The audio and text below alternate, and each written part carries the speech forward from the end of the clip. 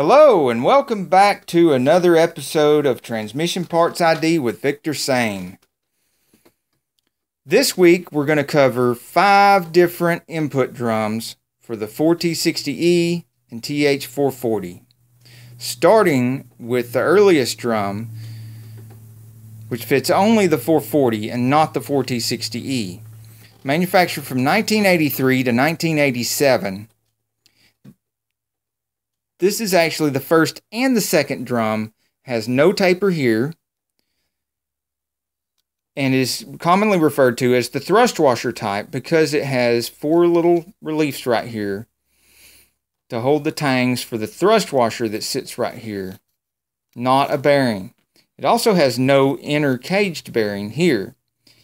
And the difference between the first and the second drum is that this inner lip seal down here comes in two variations. A thick one with 0.233 or a thin lip seal which is 0.106. And of course you have to have the the drum that accepts the thick lip seal for the thick one and the drum that accepts the thin lip seal for the thin one. Now, of course, you can't put the you can't get the thick lip seal down in here in the drum for the thin one but you can accidentally put the thin one in the drum that takes the thick lip seal, and disaster will occur. Third drum also has no taper here. This drum has some overlap between the 440s and the 4T60Es due to the fact it was manufactured between 1988 and 1993. It is referred to as the bearing type because a bearing goes here instead of a thrust washer. And there is still no inner caged bearing down in here.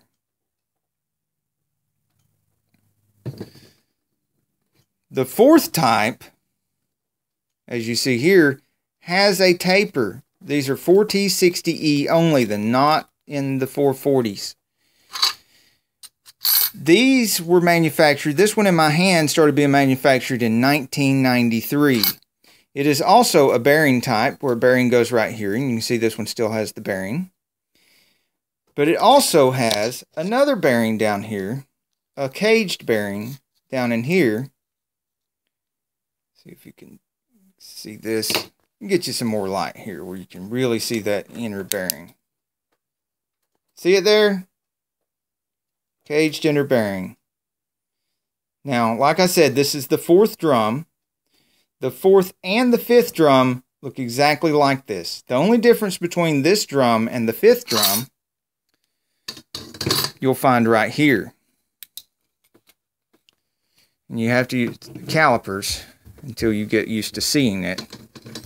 Right here, this measures 3.690 where the inner teeth of the clutches go. This is the hub part of the drum.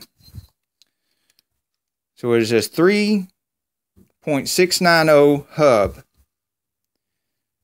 The last drum is actually a 3.390, which as you can see if you draw the caliper down to 3.390 is considerably smaller here at the hub. Now if you put the one with the smaller hub in the wrong drum, then the clutches will not be able to catch and you'll have a problem. But if you try to put this larger hub in with the smaller clutches, it just won't go. It's dummy proof. That is all five of your variations of the input drum on the 4T60Es and 440T4.